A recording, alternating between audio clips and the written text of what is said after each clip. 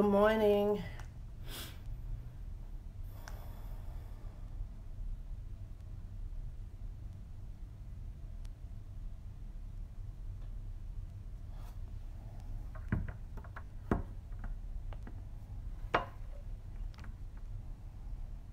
Good morning. Good morning, family.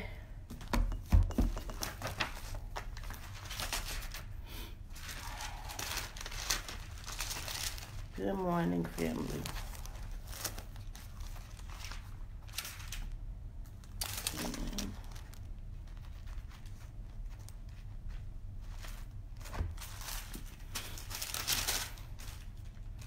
Good morning.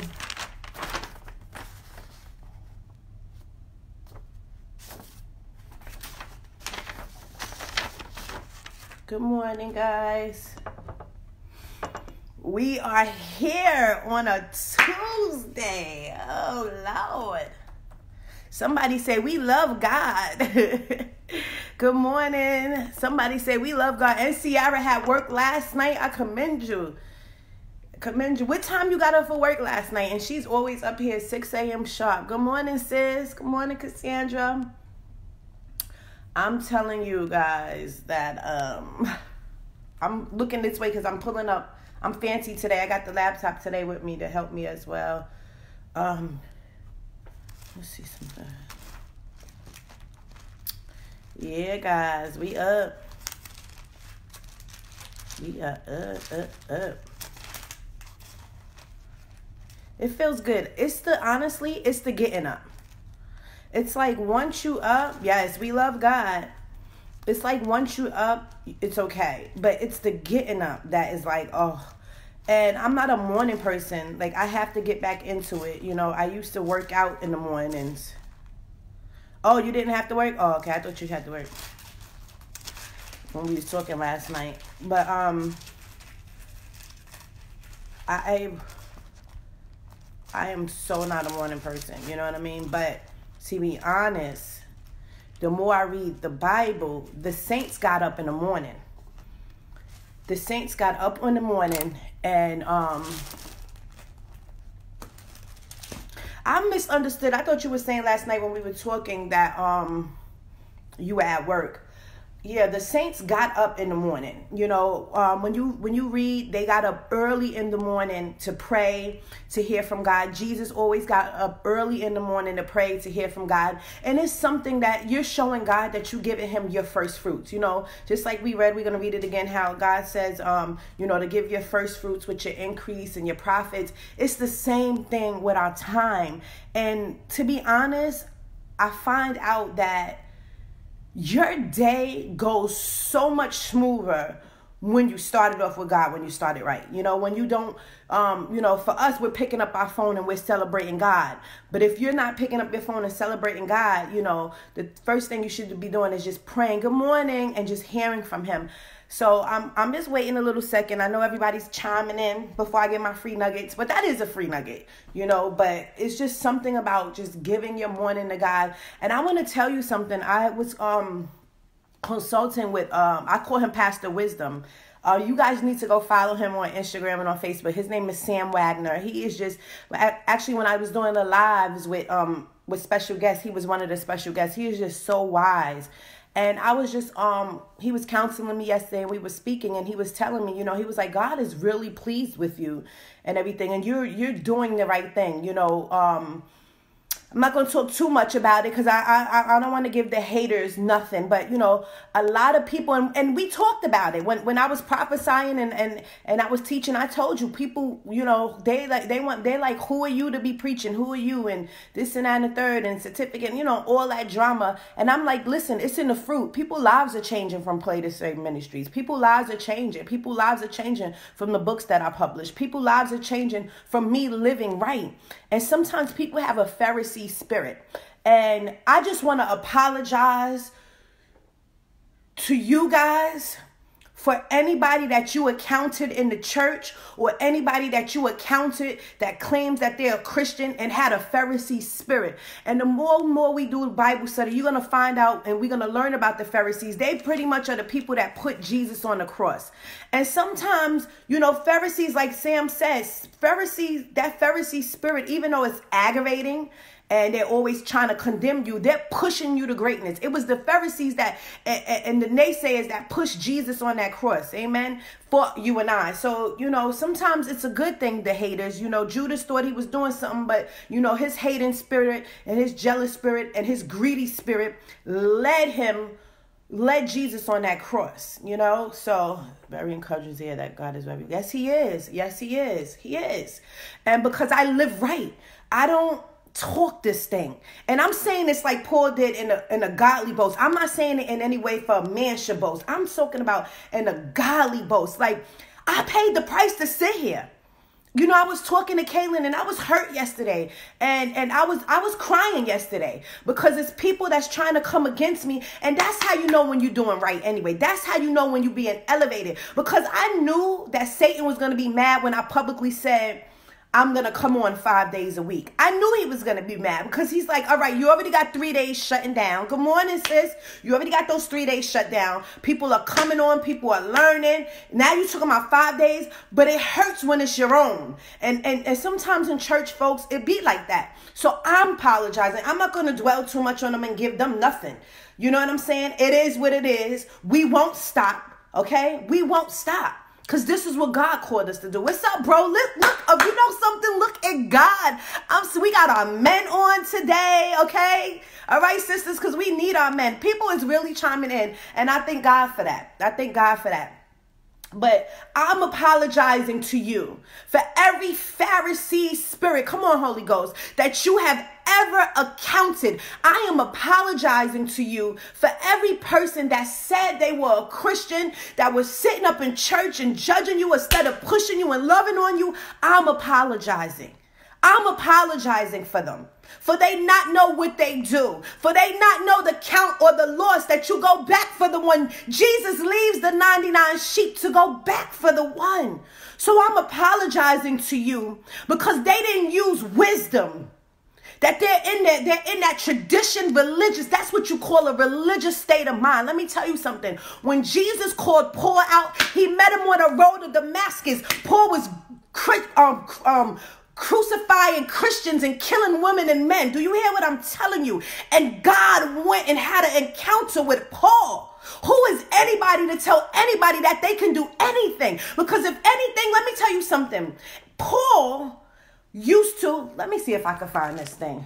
Paul had to tell Peter a couple of times about himself because Peter, because Peter was, uh, um, I want I don't want to say two-faced, but a little shaky. Peter, Peter Peter was fearful. Let's just say like that. Peter was fearful. And this is for someone. This is a free nugget, which means that even if you got a fearful spirit, right? Anxiety spirit, God will use you and do something new. And we know that Peter always had that fearful mentality. Amen. He always had that fearful mentality. And um Paul had to tell Peter one time because Peter uh, uh, uh, do the grace message with Paul, and as soon as the disciples come, he switch up and, and he's trying to do habits and trying to do tradition. And Paul was like, listen, that's one thing about the remnant. We're radical. We'll tell you in a minute. We don't care what certificate you have, what apostle is on your name. If you're wrong, you're wrong. And Paul said, you're wrong, man.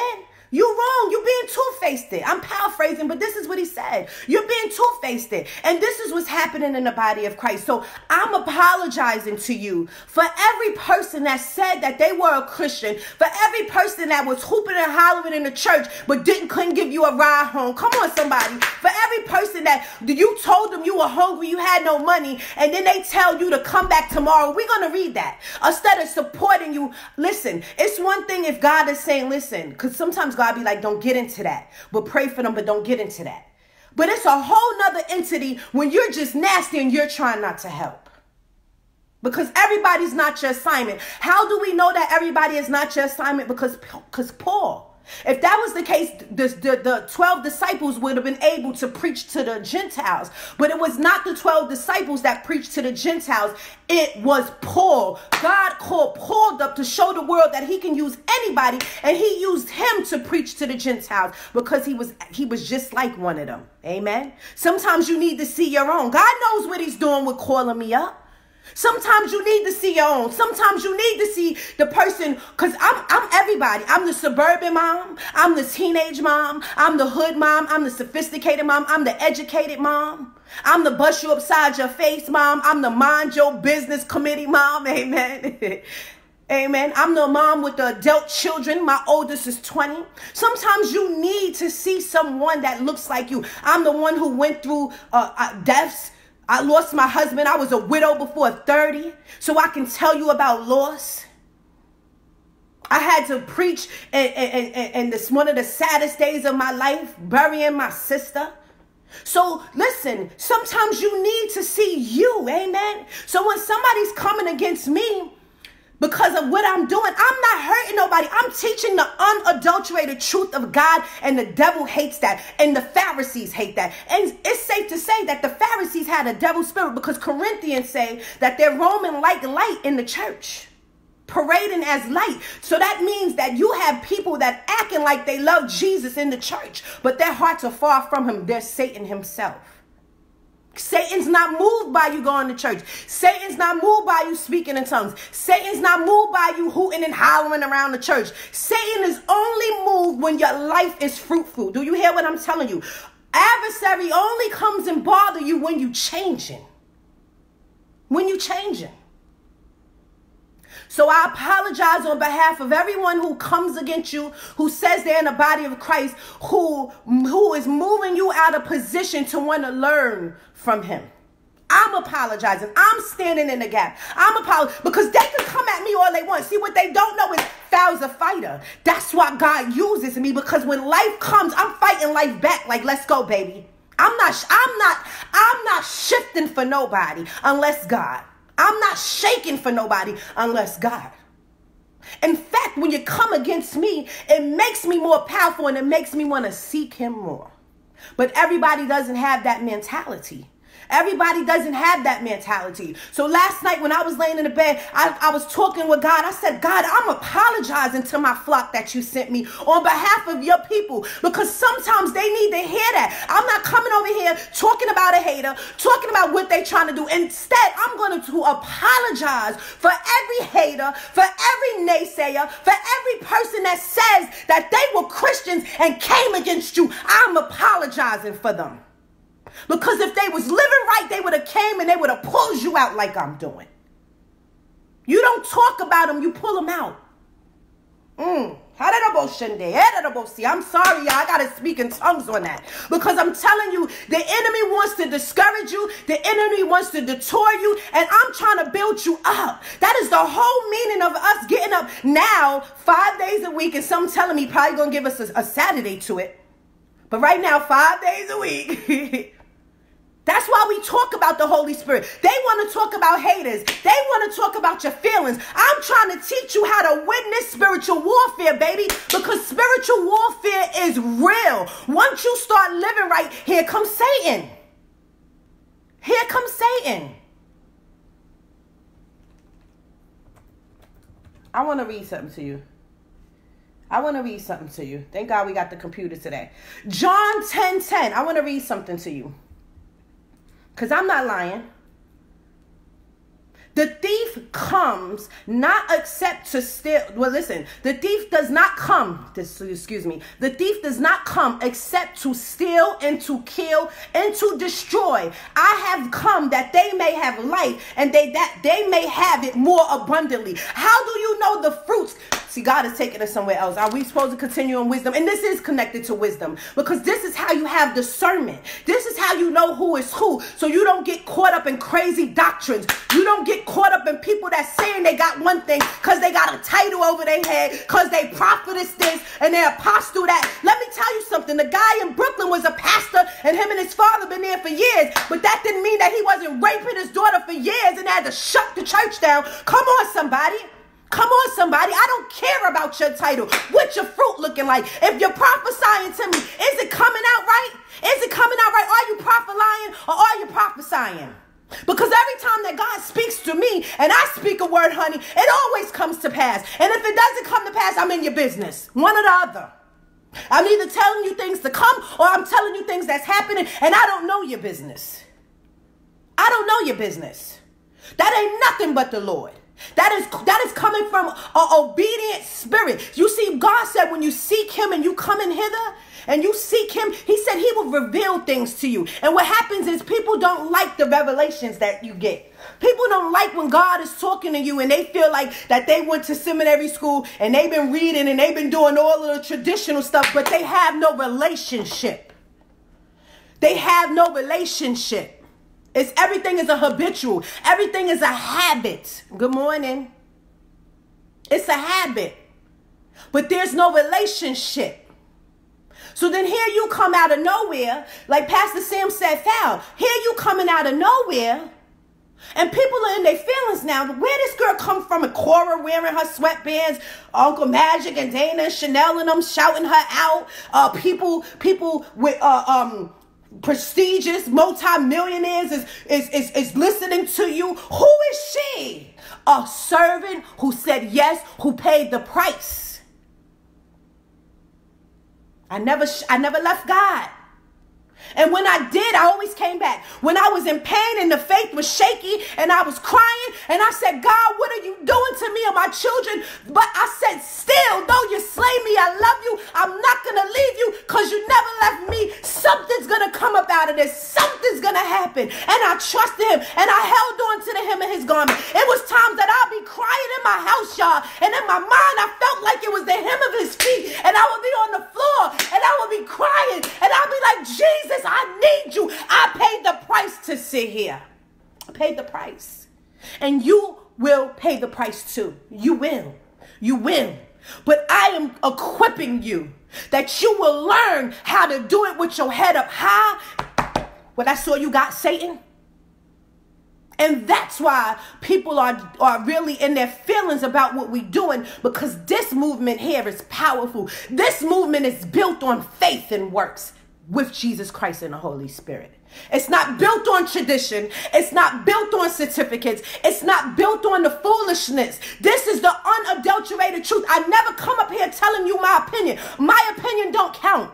I tell you that all the time. My opinion don't count. The only thing that counts is this word here. Because I can sit up here and be opinionated. Come on, you know I'm from the hood. You know hood folks. We always got something to say. I could find a million things to say, but that's not my place. That's why even when I post on Facebook, you know when I'm posting my opinion because I say it comes from me and you know when it comes from God. We need wisdom. This is the hour that you cannot lack wisdom. This is the hour, this is the hour that you cannot that you cannot say, you know, I don't know and no, this is not that hour. This is the hour you need wisdom. You need wisdom. Wisdom is the principle of life. Wisdom is the principle of life. It's a principle. And we spoke and we talked about principles. We talked about principles um, all through our series. And I told you principle is, is, is like losing weight. You got to eat 80% right, 20% working out equals the equation is you lose weight. That's a principle. No matter what, nobody can defy a principle. And the principle of life is if you have wisdom, if you abide in wisdom, you will see the grace of God because you need wisdom and understanding to truly have a true connection with God. I tell you all the time, you cannot be satisfied off of mama and them teaching. Mama and them love God, so and they pray for me, so I'm covered. Yeah, certain extent, God is a covenant. He'll protect you, but you won't have the fruits like I have. You won't have the power to say, I am healed. God, I got a headache. In the mighty name of Jesus, take this headache away. Oh God, my finances ain't right, ain't right. In the mighty name of Jesus, give me the mindset to create wealth and find a good job and this and that and the third. You need that power. And in order to tap into that power, you have to have wisdom to, to sustain you. You got to have wisdom. Excuse me, guys. You have to have wisdom. You have to have wisdom. You have to have wisdom. I want to pull that out. Um, remind me, guys. I want to pull that up, but let me because we we we were on this, and and something telling me I want to stay on this because Holy Spirit's telling me go back to this because you guys need this. So let's just start back from chapter one, right? I mean, for verse 1, for this is Proverbs 3. I'm reading from the New King James Version. My son, do not forget my law, but let your heart keep my commands. For the length of days and long life and peace they will find and add to you. So, what is he saying? He's saying, when you have a relationship with me, you will live long and you will have peace. I have peace. No matter who tries to come up against me, I have peace. I keep I keep my peace. Why? Because peace, God, Jesus said the world did not give you peace and they not and they cannot take it away from you. So how can they not take it away from me? By me staying in the word of God, knowing that a vengeance is mine, say the Lord. The Lord says that you are not to be out here arguing, you are not to be out here cussing out somebody, you are not to be out here hitting somebody upside their head, because I avenge for you, says the Lord. I avenge for you, says the Lord. I avenge for you. In fact, let's pull it up. I'm on one today. Because they guess what? Everything, everything I say is backed by the word. Let's let's pull that up. Let's pull that up. Because I need you to know it ain't me. It ain't me that says anything.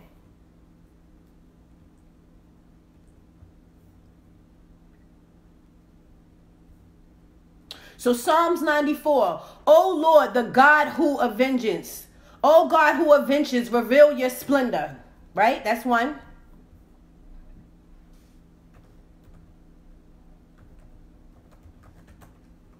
I want you to get it.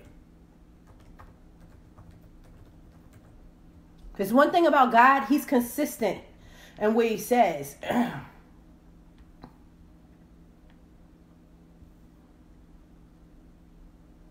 Let's see, Exodus 14 14.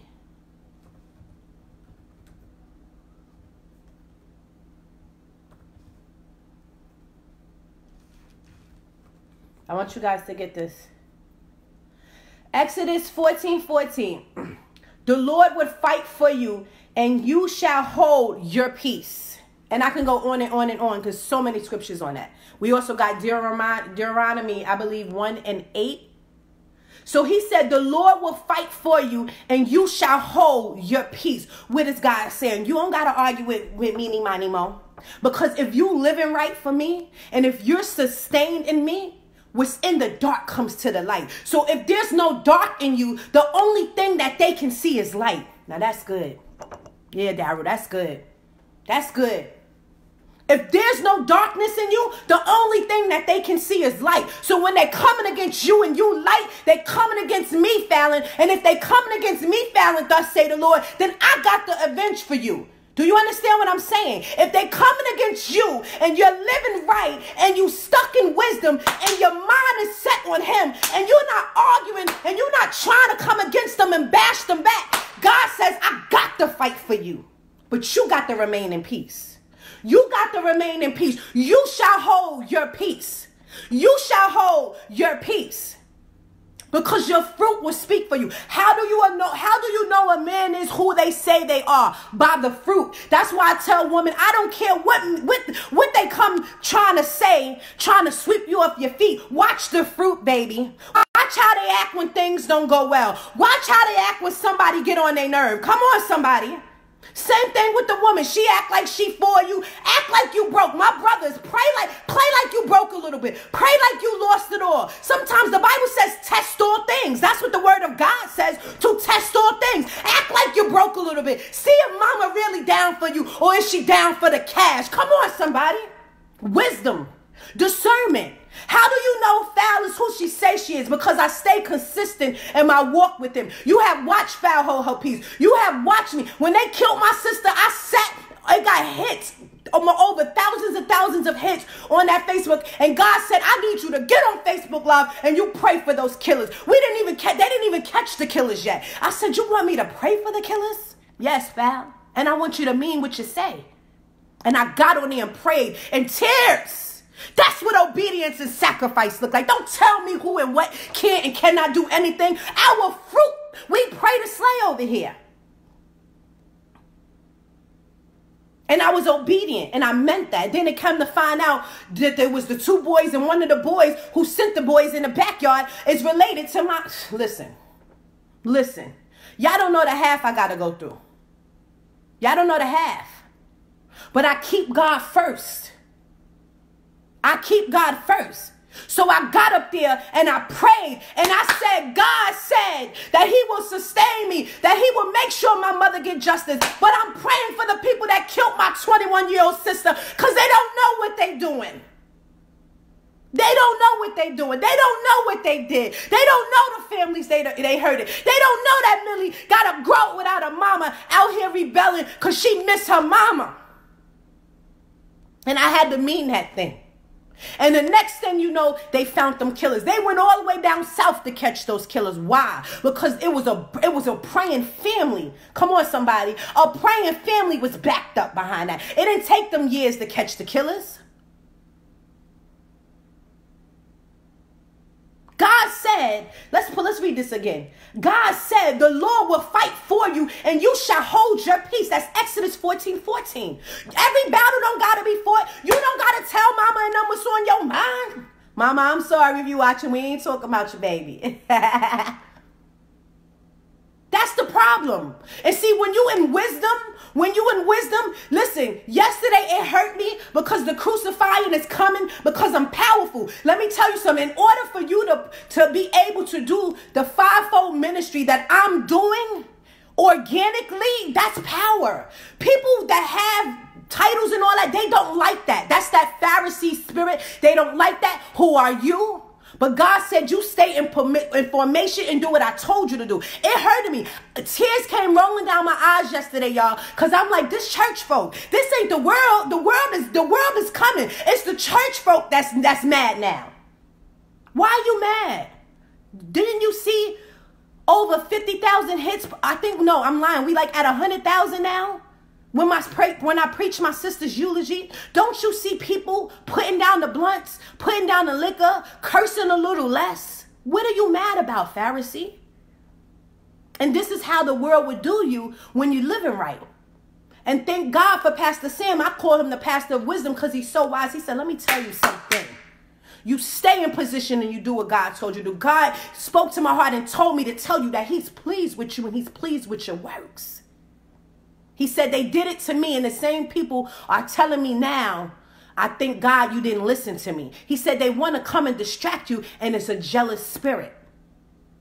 That's why in the beginning I had to apologize to you for my church folks that have hurt you because many of you have been hurt by church. I know you have.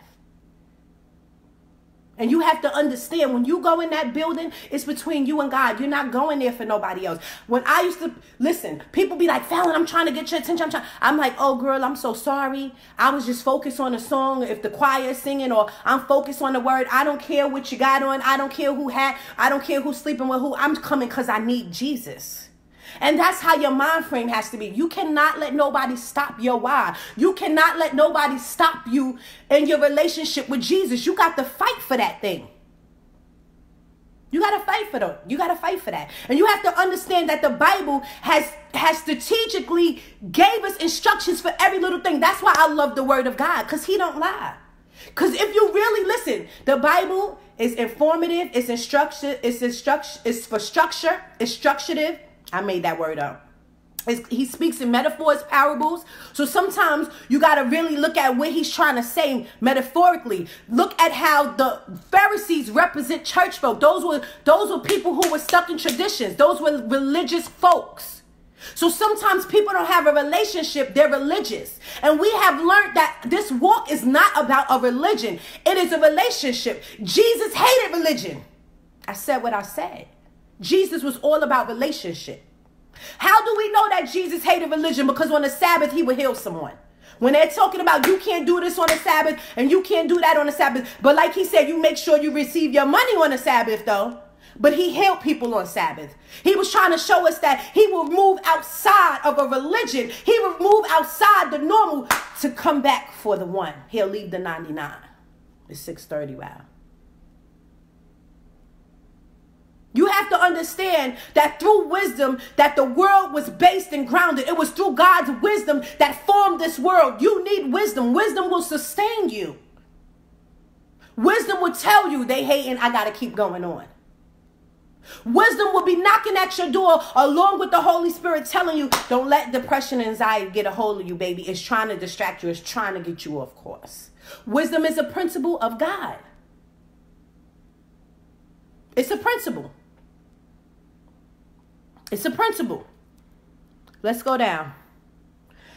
Verse 3 Let not mercy and truth forsake you. Bind them around your neck. Write them on the tablet of your heart. And so find favor and high esteem in the sight of God and man. Trust in the Lord with all your heart and lean not on your own understanding. In all your ways, acknowledge him, and he shall direct your paths. So, what is God saying? Stop trying to figure out everything. I don't know why church folk act a fool. I don't know why people act crazy.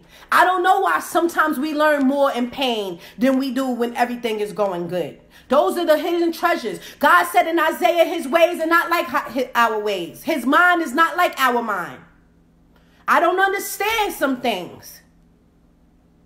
Even in the end, sometimes it will speak for itself and it will show. But you have to realize that when you're walking with God, you're full, you're in full submission. That means everything is holded to Him. Your finances, your mind, your life, everything.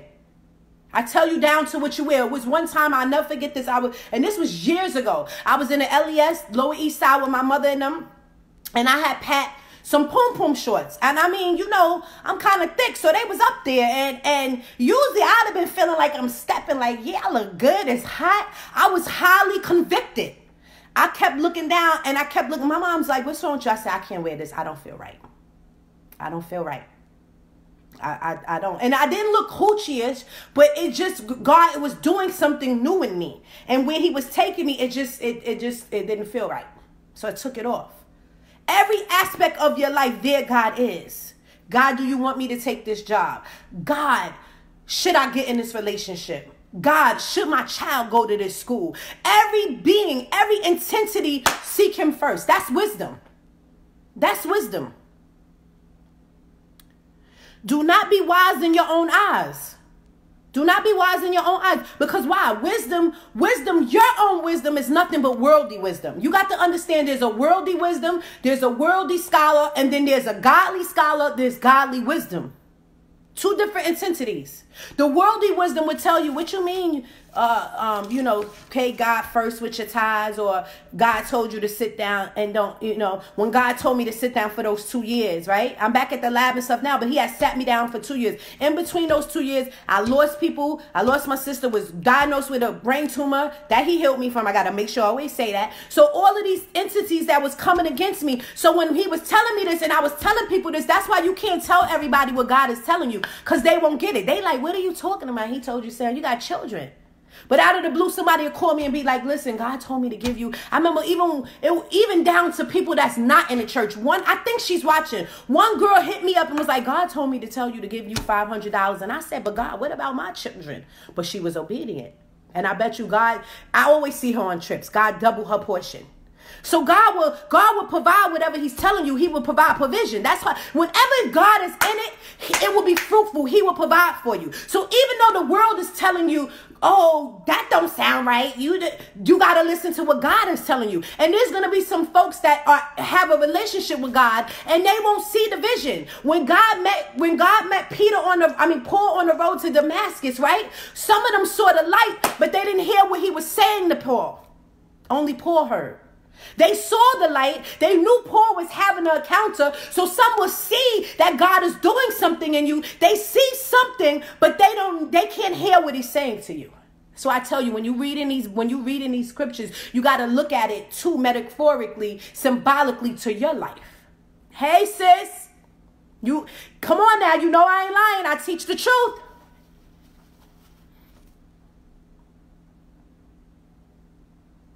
You have to understand that this word, this walk is real. That's why I tell you don't get caught up with people when they're trying to fight you about this word, when they're trying to tell you that this word and this and that. Don't don't listen. Let your life speak. Don't even debate. I never forget. I was a rapper. I ain't gonna say his name because you know my husband used to hang out with a lot of people. For a long time, I hung out with them and we had a big debate. We was up there drinking and all that, and I'm all drunk, call myself arguing with him about Jesus, and and and next thing you know, me and him it spurred out to Twitter. We arguing. Then his wife was mad at him because she loved us some Fal and everything, and we made up. But it was like you're not, and I, I remember the next day God showed me a scripture about debating. You don't debate about the word of God. Your life speaks. Your life speaks. I don't have to prove nothing to nobody. If you gotta come on a live and you subliminally bashing me on your live, then homegirl, I'm praying for you. Cause you ain't right. You in error. Touch not the anointing. Let me tell you something. Although I was hurt about homegirl live and she was symbolically symbolically trying to come against me, metaphorically, all God kept telling me, no matter what, she's anointed. She's stuck in her flesh because that's jealousy. But touch not my anointed. Be careful what you say about her. Everything that Saul did to David no matter what, David never talked against Saul. It was opportunities where David could have took Saul the head. He could have killed Saul. It was times that when the Bible says that Saul went in the cave to, to doodle. He went in the cave to move his bowels, and David saw them and crept up on them. And all David did was I feel the power of the Holy Spirit. He cut the hem of his, his garment to let him know I could have I could have cut you, homie. I could have took your head off, homie. But God said to leave you alone. Why? Exodus 14 14, God said, I avenge you, hold your peace. Touch not the anointed. So even though she's in her feelings, who got certificate, who doing this, and basing her lives on people, God said, touch not my anointed. You be careful what you say about her. Because I do see there's an anointing there. But people are jealous because God is moving us. Pray to slay is going from here. And we not backed up off of all that traditional stuff. We are grounded in the word of God. He's doing something new. I told you the other day I had a millionaire wake me up, woke me up out of my sleep, told me I need you to pray for my platform. Those are divine interconnection connections. The, all that is divine from God. Cause I couldn't do that. I would screw it up. I talk too much. I'm, I'm I could be opinionated. So I will screw that up. But these connections that's coming is from God.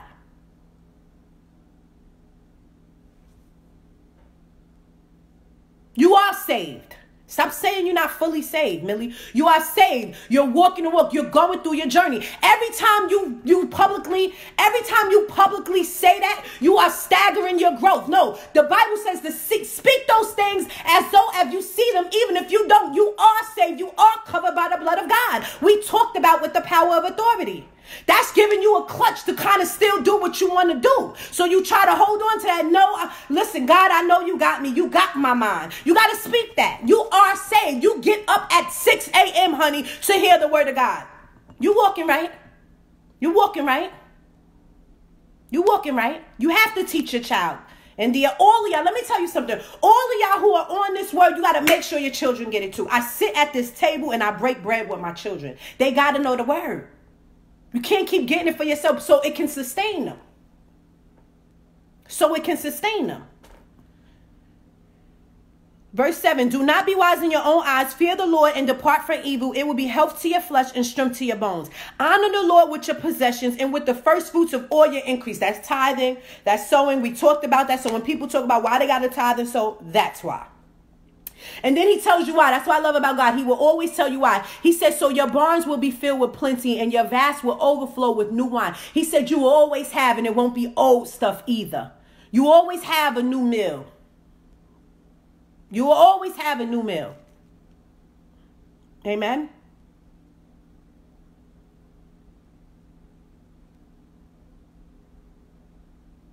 Amen. But they keep talking about you. I'm going to be working on making. I don't know what you said, Millie. Get out your flesh, mama. Get out your flesh. Don't that's flesh talking, baby. Stay stay focused. We don't we don't care. We we don't we ain't we don't we ain't shifting. We growing. We growing. We growing. You we moving forward. We moving forward. We moving forward. Because let me tell you something. And this is why I would never do a, a, a, whole ministry. You know, people talk about, oh, the haters this, and they building their whole ministry and that so they could get hooling and hollering and amens. Let me tell you something. You need haters. Haters pushes you to destiny. For every Bible story, there was a hater. David had a hater. Daniel had a hater. Come on, somebody. Joseph had a hater. Come on, somebody. Saul was a hater that God turned around. We praying for them that they and Saul turned around and, and God changed his name to Paul. You need a hater. Jesus had a hater. He had haters. You need haters. It elevates you. Come on, somebody. That's why we don't get stuck on that. It elevates you. Verse 11, my son, do not despise the chastening of the Lord, nor detest his correction. So when God is correcting you and somebody is correcting you, don't get in your feelings. That's what God is trying to tell us. Don't get in your feelings because it means that God loves you. If He's taking the time and He's correcting you, He has a plan for you. But if He's letting you do what you do, that means you belong to Satan. He like, all right, because there's a verse in the Bible. He tells the He tells the church. He says, let them go and let Satan have his way with them, and then they shall see and come back. And you open them with open arms. Good morning, Kara. So if God is chastising you, he's not that he he's mad and and he hates you. He's saying, listen, the only way sometimes you're gonna learn is if you get knocked on that head sometime. It's like a kid. You keep telling them, don't touch that fire, don't touch that fire, don't touch that fire. But when you sit there and kind of let that fire just burn them just a little bit, they're like, okay, I ain't touching that fire no more. Same thing with us adults. So he says, For whom the Lord loves, he corrects, just as a father the son in whom him he delights. Happy is the man who finds wisdom and the man who gains understanding. For her proceeds are better than profit to silver, the importance of wisdom. With wisdom, you don't need money. See, wisdom creates money. Look at Jeff Bezos and all of them. When he started that picture I put up, when he started Amazon and that little office, he had to borrow money to get that little office. And it was it was his strategy, it was his wisdom that allowed people, he gave them the idea, like, listen, I got this idea, I don't need this money. He said he got a million dollars for that one, a million dollars for that one. He used wisdom, and wisdom brought him the profits. Wisdom brings provision. Wisdom is wisdom is stronger than provision. Wisdom, wisdom brings forth provision. Amen. Amen, Nelly. You got to study. You got to study with your kids. Okay, so for her proceeds are better than profits of silver, and her gain than fine gold. So he said, "You to gain more wisdom is more precious than gaining gold. She is more precious than rubies, and all the things you may desire cannot compare with her." He said, "So everything that you would desire in life cannot compare to wisdom." Then that's I need. That means I need that. In fact, wisdom is so strong. Look, look at this. Let's go to let's go to James. Let's go to James 1 and 5. This is how much wisdom is. So let's, matter of fact, I don't want to go to five. I'm going to read from two. My brethren, count it all in joy when you fall into various trials, knowing that the testing of your faith produces patience. But let patience have its perfect work, that you may be perfect in all and complete, lacking nothing. So look, now notice what he says before he's saying lacking nothing. He says lacking nothing. But then he says, if any of you lacks wisdom, let him ask of God who gives to all liberally and without without reproach, meaning finding fault, and it will be given to him. So, do you notice that he said, before he told you to ask for wisdom, he said that you will be lacking nothing. But if you feel like you're lacking something, he didn't say pray for money. He didn't say pray for finances. He didn't say pray for a boo. He didn't say pray for a job. He said pray for wisdom. If you're lacking anything, pray for wisdom. Why? Because wisdom is more precious than rubies and gold. So if you have wisdom, you have everything.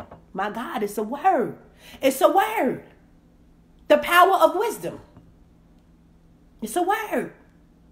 That's why I, I, tell people don't just read that scripture, but sometimes you got to read the prefix and the suffix of a thing. You got to go before the, the sentence before and the sentence afterwards because it tells you with that whole sentence that you're caught on what it means. So if he's telling you to pray for wisdom, but before he tells you to pray for wisdom, he says, so you can lack nothing, then he's trying to tell you something. He dropped the jewel. It's a word.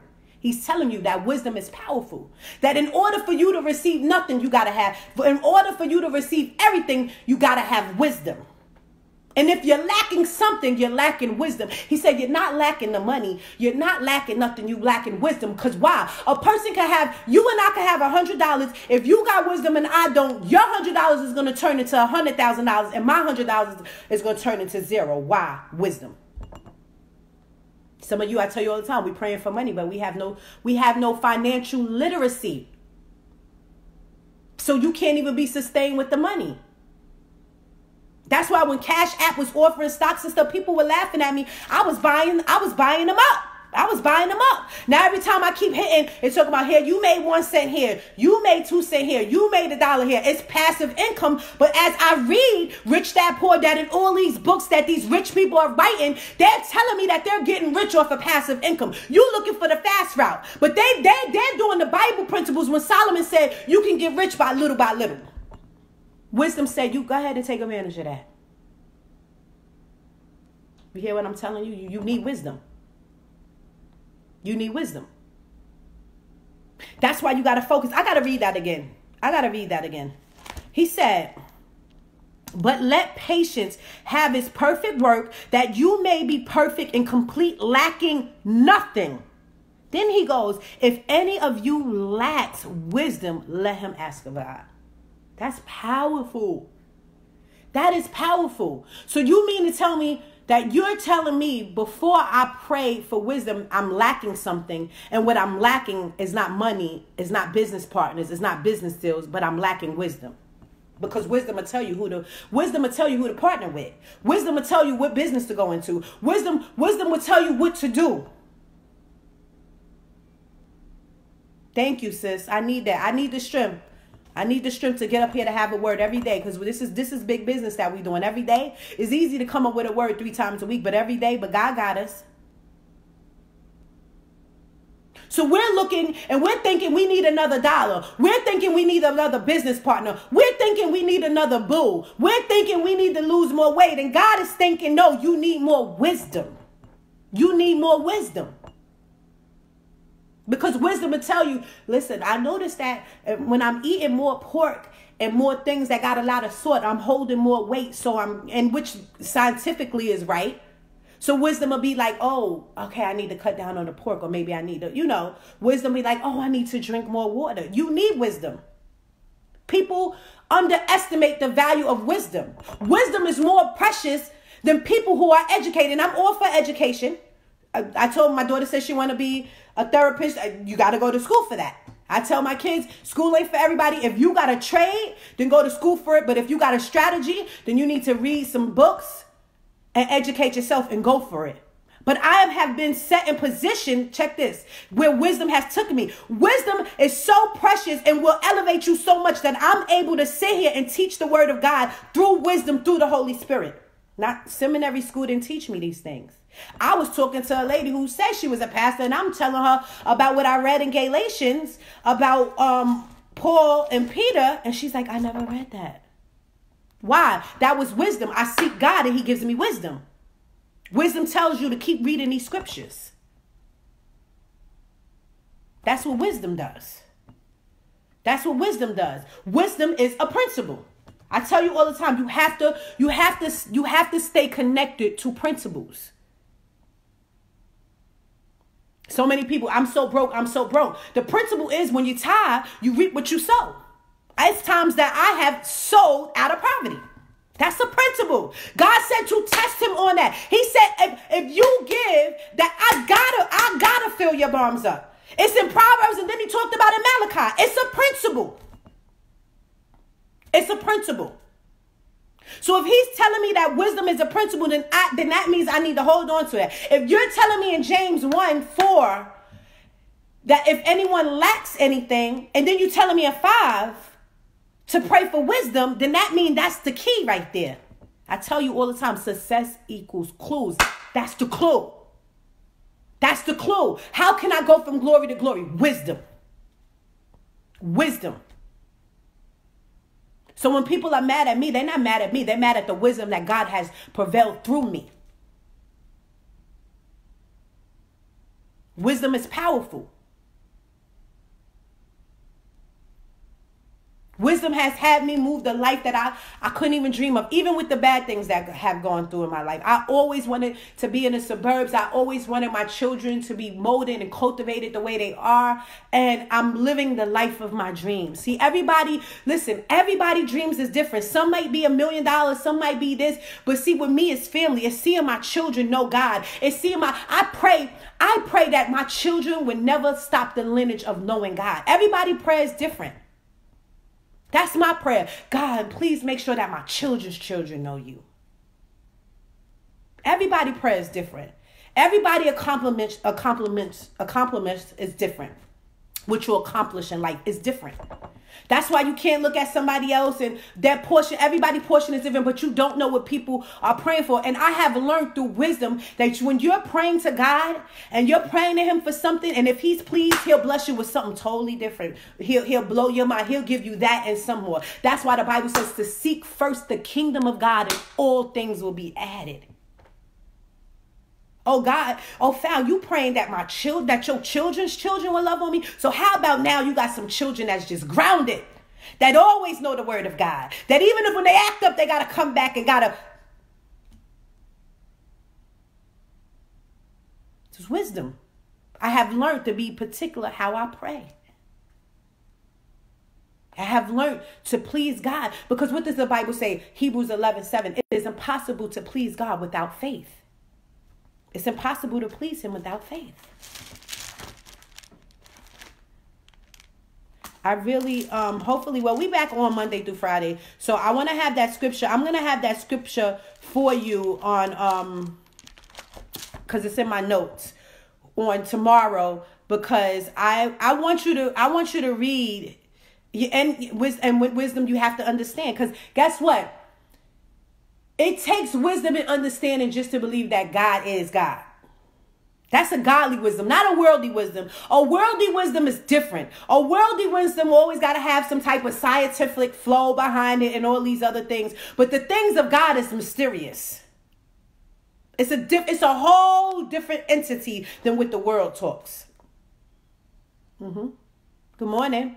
So I'm going to make sure I have that scripture up for you because I want you to read because I tell you everything I said today I'm backing up. I want you to see how um let me see if the um, website's going to pick up. I want you to see how Paul had to tell um Peter you being phony. That's why I tell you don't get caught up in these church folks. He, he Paul had to tell Peter. And here Peter been saved longer than Paul. But through wisdom, Paul had a different wisdom. That's why I tell you, everybody, assignment ain't your assignment. If Peter could do what Paul did, Paul would have had that, that encounter with God. They couldn't preach to the Gentiles. Paul did. Paul did. If you trying to teach somebody something, you trying to show them something and they don't get it, don't don't bother yourself. That means it's not your assignment. God will God let you sow that seed in them and somebody else will come along the way and water it. And then God will bloom it and, and, and it will be ready for harvest. I pray that this blessed you. We're consistent. We're on five days a week now. I'm gonna see you guys tomorrow. You want to sow in this word? You guys know PayPal me, uh, Falgod, Cash App, Falgod. I do have Zelle. I gotta, I, I gotta see what the name is for that. Um, you want to buy the book, payhip.com slash Falgod, no, Fallon Brown Publisher LTD. Listen, it will be in the links. I don't got time to do all that. We we not doing that. we not going to solicit this word. It'll be in the links. You feel like you want to sew, you feel like you want to buy a book, you want you feel like you want to buy a waist trimmer, it will be in the links uh, Instagram, you know, if you want to sow, you DM me. I want y'all to more focus on this word. God will move you to, to, to sow if you need to. But I want you to focus on this word. I want you to focus on wisdom. I want you to focus. Listen, with things that God is putting in us, that's why, you know, I thank God that we growing. But I know in my heart, these, these teachings, I'm not for everyone. I know my who my flock is. But we're learning the deep things of God. That's why we had to teach about the Holy Spirit. I'm not coming on here trying to be popular. Teaching was popular. We we not teaching about haters. And if we teaching about hating, we teaching on it on a biblically standpoint. So you will know that your haters elevate you. Amen. You need the Holy Spirit. You need to know your authority. Some of you guys need to go to my YouTube channel, Fallon Brown, and look at all those teachings, all those series that we did on authority, that we did on the power of our tongue, power of speaking. God is trying to transform you because why? It is a spiritual warfare. It is our walk is spiritual. It's more than hooping and hollering. Because if you walk for real, if you walk for real, you're going to be tested. Why? Because the Bible says that the devil walks around like a roaring lion to devour you. He said that he comes to steal, kill, and destroy. So if that's what his mission is, then you got to know how to stay prayed up. You got to know how to stand your ground. You got to know how this has to be. Because what did we talk about yesterday? Some of us are so built up that we don't let people come against us, but it'll be us against us. It'll be you versus you. Because the enemy will use your mind. You welcome. You welcome. All glory to God. This is all glory to God because I'm going to keep it real with you. I would never get up here six days, five days a week. Maybe two, maybe three. I'd never get up here five days a week. It is all the glory to God. And today's the off day. I don't have nothing to do today but take my son to the dentist. I don't have to do the other job. So this is God. But when you want a mandate, you say yes to God, then you do what God says. I have come to learn I do what God says. Because I know my, my whole mission is to build up the kingdom and shame the devil. I tell you, oh, keep talking about me. Keep coming. Cause we, what I told you, I'm on my Tyler Perry. While they talking about who got a certificate, who who's a apostle, who's a, who's a written down prophetess, I'm gonna be over here prophesying while you prophesying. I'm gonna be over here saving souls. I'm gonna be over here building the kingdom while y'all over here arguing. Yeah, that part. Yeah, that part. That's what Fal gonna be doing. No, not six days, Ciara. You tried it. We five days right now. If I said six days, it was a mistake. to God tells me, if God tells me to sit my butt here on a Saturday, I will. Right now, we Monday through Friday. but listen, I commend y'all too, because y'all getting up with me. I see I was getting mentions early. Some people was up 448 in the morning on Instagram mentioning me like I'm ready for the word. That makes me feel good. That knows that I'm doing right. Listen, you always go by the fruit. I don't care what a person says. You go by that fruit. I don't care what title they got in front of their name. That dude in Brooklyn had a title. His papa and them was pastors. They all was pastors. And they was in them molesting that baby and touching on women. So you go by the fruit. You go by the fruit. You tried it, Millie. you go by the fruit. You hear what I'm telling you? The fruit. And you test the word. You test what come out of somebody's mouth. Is it biblical? You test the spirit. Is this spirit coming from the flesh or is this coming from God? Is this the Holy Spirit? I love you too, bro. Is this the Holy Spirit? Millie said, Good morning, Cece.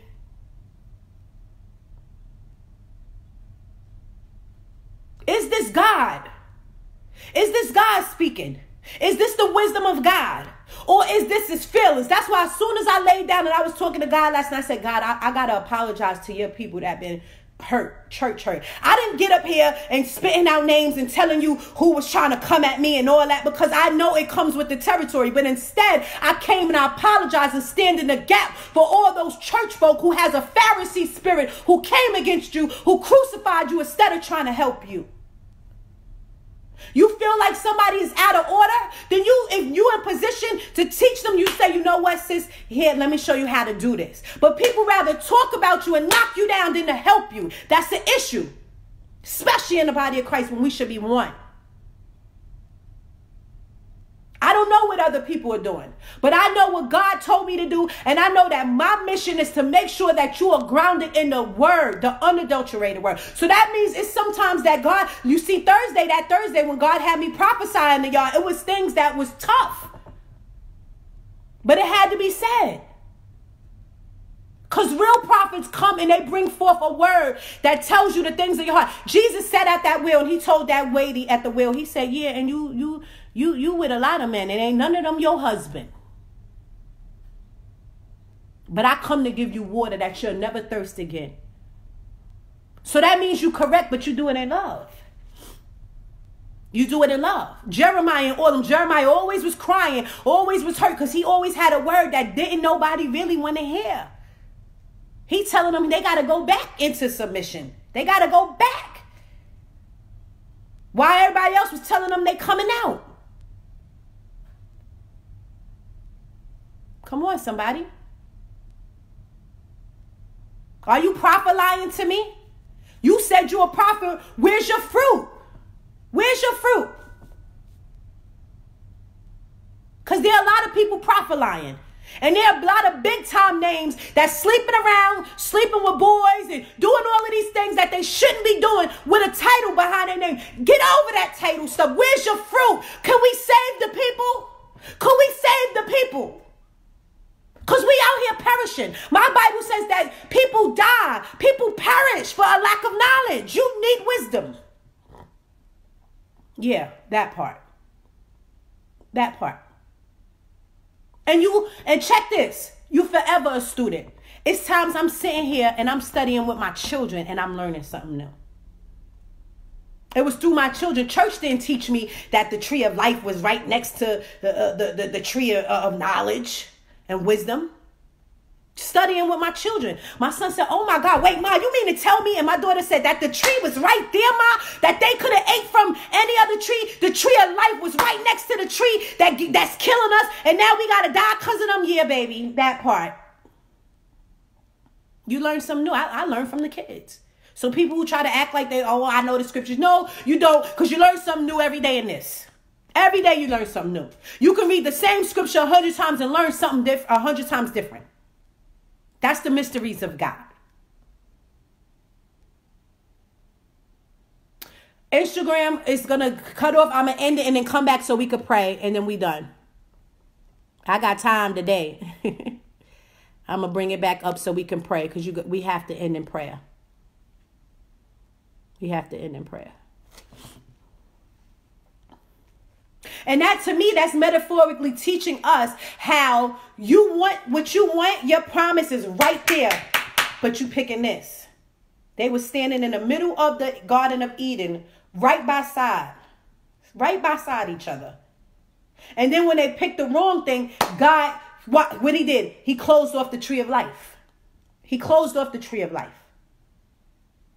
And then comes Jesus and everything else to solidify what it needs to be solidified.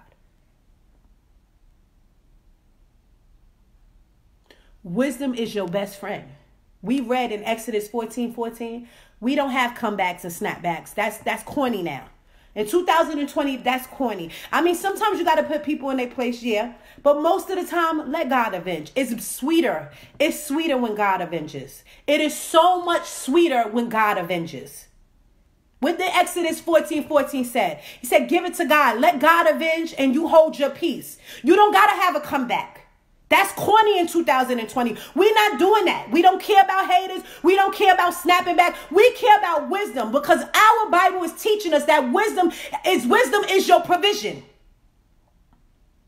You need wisdom. We need wisdom.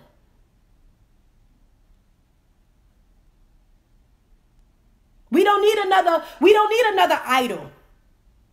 Because we, even in the church, we are making pastors and bishops our idols. We don't need another idol. We need a relationship with God. We need that wisdom deep down. So then now, when somebody's saying something, they're only confirming what God already told you through wisdom using the Holy Spirit. Come on, somebody. That's what we need.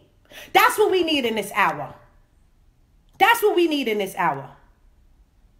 Let's continue. Let's continue. Let's continue. We're gonna we're gonna a couple more minutes. Verse 16, the length of her days in her right hand. This is Proverbs 3. And all her paths are peace. So when you're walking in wisdom, there's peace. Mm-hmm. There's peace. Coco said, This is for me. There's peace. See, some of you, I was watching Joyce Myers one day, and you know, I love her. Excuse me, y'all. I love me some Joyce Myers because uh, this just two more minutes, and then I'm gonna let y'all go. I'm gonna pray because Joyce is a real one. And Joyce said that she used to love commotion so much, right? And she used to love uh, uh, um, being in her feelings so much that when peace came, it was boring to her. And I remember one time sitting around and my life is such in a peaceful state that I was like, oh, that's a little boring. And the Holy Spirit said, no, it's not boring. This is peace, baby. Peace is what it says it is. It's peace. Every enemy, everything, shalom. Peace. And when you walking in wisdom, you walking in peace. Why? Because Strategically, you move. When you move in with Christ and the Holy Spirit walks through you, you are moving strategically. And that's what wise folks do. They move strategically. So you be like, oh, okay, yeah, she's saying that, she acting up. Okay, whatever. Let God, God will turn it back around. Exactly. And the peace be still. We're going to read one more verse and then we're going to pray. He said, Her ways are, are her ways are plenteousness, and all her paths are peace. She is like a tree of life to those who take hold of her, and happy are all who retain her. The Lord by wisdom founded the earth. And by understanding, he established the heavens. By his knowledge, the depths were broken up and clouds dropped down to dew. My son, let them not depart from your eyes. Keep sound wisdom and discretion. That's what wisdom will do for you. You will be discreet. So I tell you, when they trying to come up and, oh, then I'm on my Tyler Perry. I'm being discreet. I don't got to argue with you. I don't got to say this. I don't got to say, listen, listen. People want to know why me and Cora Jakes have the relationship and why she's wearing the waist trimmer. God told me to speak a Rhema word in her life. Prophetess ain't before my name, but the Holy Spirit spoke through me. And what I said to her, she knew that it was God. Your gifts make room for you. I didn't have to go out my way. I didn't have to hit up this person and hit up that person to be seen. All I do is walk in wisdom, let Holy Spirit lead, and He does something new. So, yeah, people are mad, but that's their problem.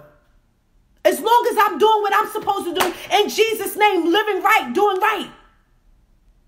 There's things. When it's time, he will have me go to seminary school and do what he needs me to do. But right now, my objective is to please God and not man. Remember, one week it was Hosanna, Hosanna, Hosanna, throwing psalms at him, and the next week it was crucify him. My God, it's a word. You don't move for man. You don't move for man. You don't move for man. You move to please God. Your objective is to please God. Do what God says, and He will back it up.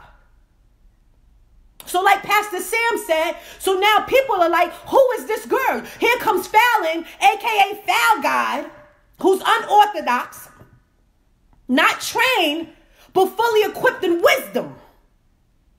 He said, Yeah, that part, you doing right. You move and you do what God told you to do. Every great leader that you have seen, people have tried to shut and try to sit them down because that is nothing but a Pharisee spirit. And you have to make sure that you're not allowing Pharisees to dim your light. You keep moving in God and doing what God told you to do.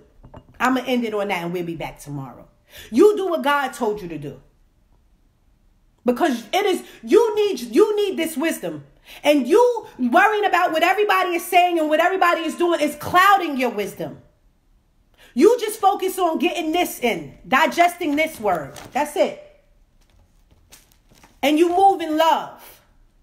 And I don't have to I don't have to call out nobody's names. I don't have to do none of that because like Holy Spirit told me yesterday, touch not my anointing. I know what they doing is wrong. I know what she said and based her lives subliminally taking shots at you is wrong. But touch not my anointed because there's still a gift in her. She might be moving through flesh, but there's still a gift in her. So you make sure you don't talk about mine. So I had to check myself too. And that's what David did. That's why David was always the better man. So they can say what they want, but long as I know I'm grounded on the word over here. And that my ministry is not based on bashing someone, it's uplifting you. I don't gotta bash somebody to, to, to, to get deep into your spirit. That's what the Holy Spirit is for. But nobody wants to rely on the Holy Spirit. They want to come, they want to do lives, they want to preach, and, and it's, it's a bunch of flesh, it's a bunch of them. But over here, we move through the Holy Spirit.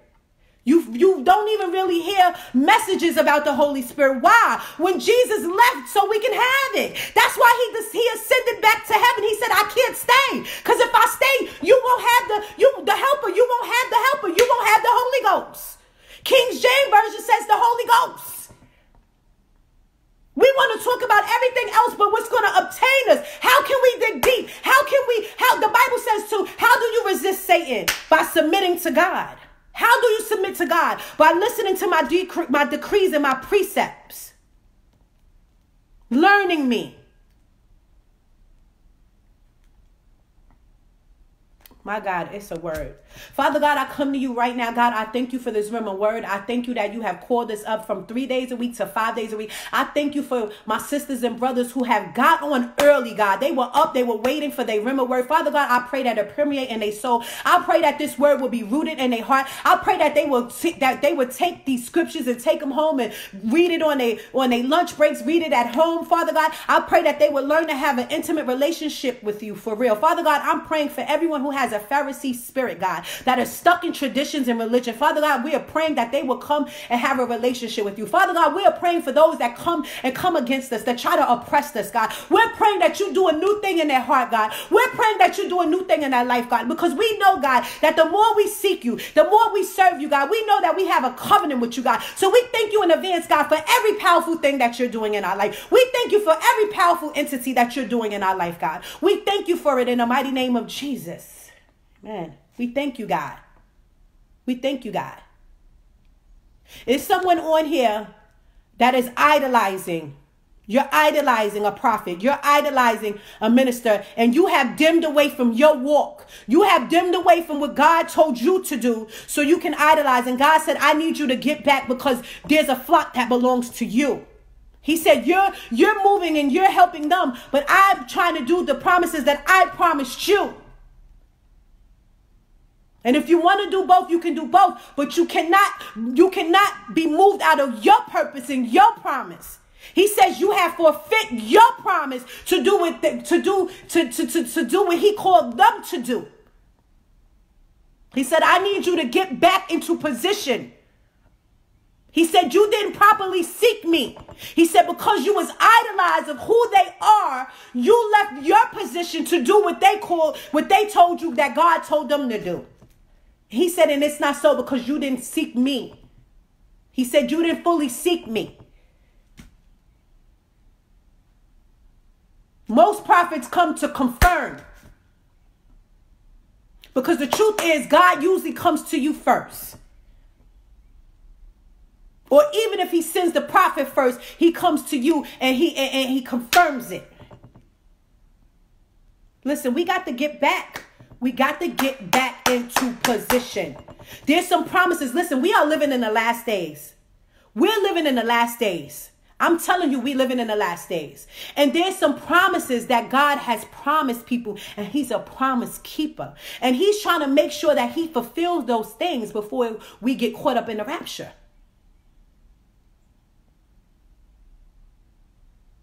I'm glad you didn't either, Nikki. I told you, I told you God got something for you. You thinking all of this stuff is coming against you to hurt you, but God got something for you.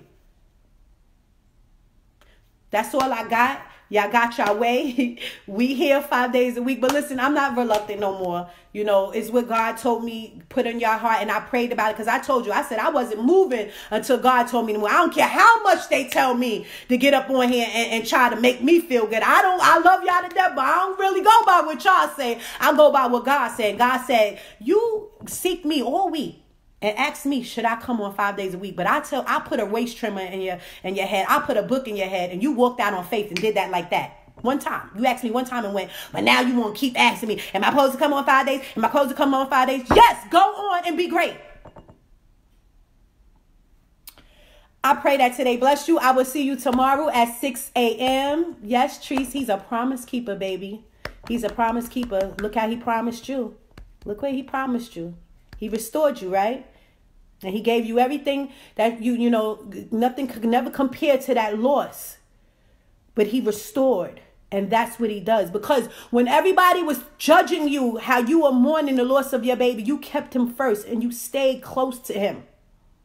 And now here you sitting here pregnant, and, and, and I'm prophesying that and declaring and decreeing that y'all get married. Don't play house. Y'all get married.